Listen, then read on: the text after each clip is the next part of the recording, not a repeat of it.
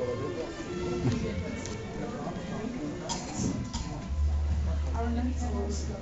you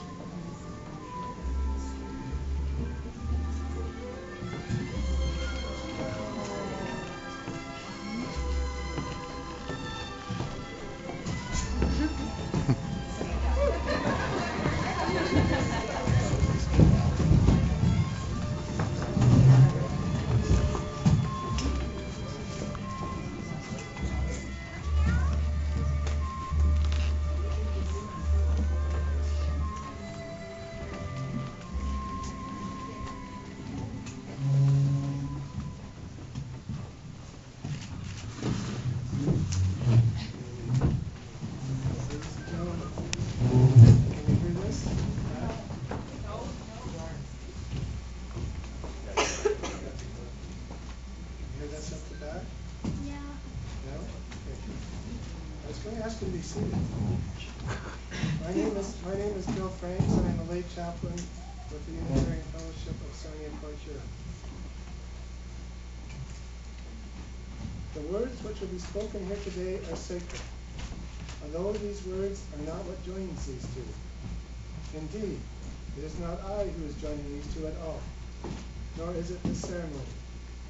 We are not here to mark the start of a relationship, we are here to recognize a bond that already exists. Julie and Trevor have joined themselves together, and we have gathered so that they might bear witness before us of the oneness that has grown up between them.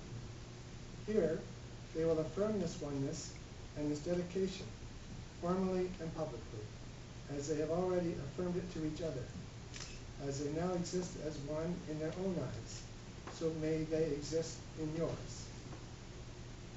This union has already occurred in the giving and receiving of their love, and in the myriad ways in which they have entwined their lives together. We are here to witness their statement of love and commitment.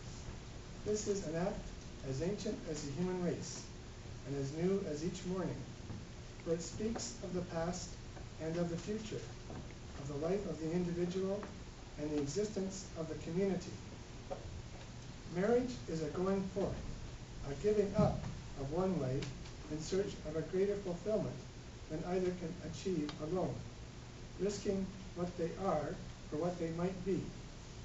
Julie and Trevor come now to declare their love and solemnize their commitment. Today, we celebrate their faith in the continuance of that growth as they come to be united in marriage. Each person present here has been invited because he or she is a special person in the lives of Julie and Trevor. You have come to rejoice with them, to hear their vows, their hopes, their plans, to extend good wishes, and to be reminded of the loves and commitments that are a part of your own lives.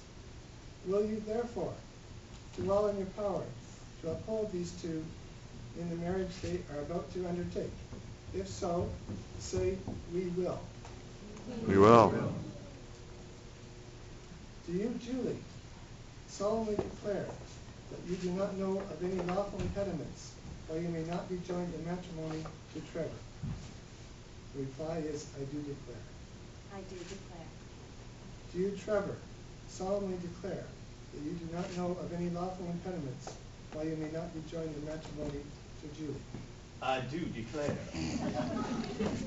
Julie and Trevor, you have invited us to witness the happiness you have found in each other. Are you ready to make the pledges to which you commit yourselves to each other in love?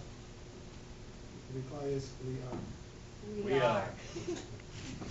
Julie and Trevor, it is a great joy and pleasure for me to be standing here with you on this momentous day, sharing in your marriage ceremony and witnessing to the lifelong commitment we're making to one another this day.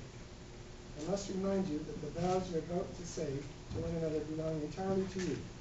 The words I speak have no magical powers, and nothing I can say or do on this day can ultimately make your marriage endure with beauty, fidelity, and joy. Only you, by the integrity and diligence of your love, can make these vows last. So it is not to lofty words or institutions even that we appeal at this hour of commitment, but rather to the resources which you two can draw, draw from deep within yourselves, the deep well of human need, the need to live united and loving and complete before a broken and imperfect world.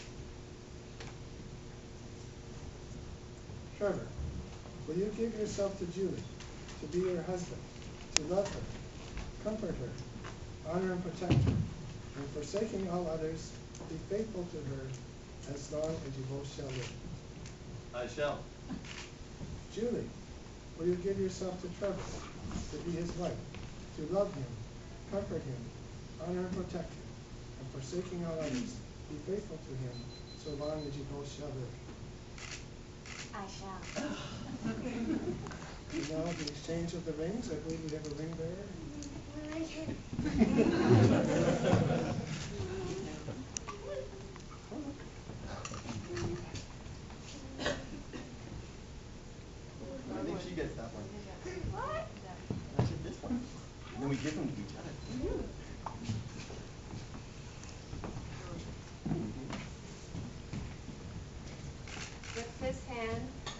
Shall lift your sorrows. Your cup will never empty, for I will be your wine. With this candle, I will light your way in darkness. With this ring, I ask you to be mine.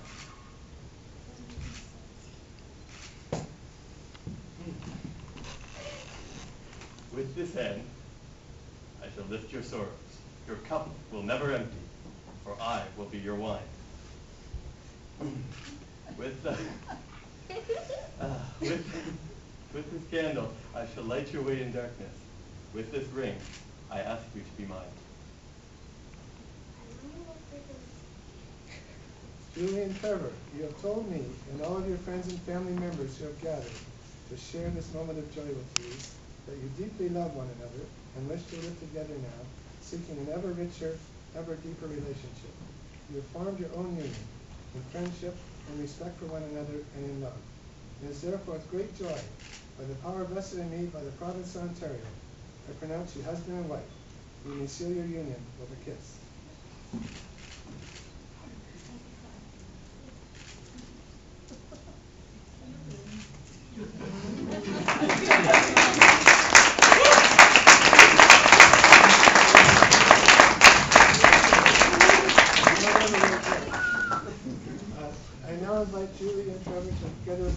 this to step forward to sign the register, and I believe we have a poetic reading.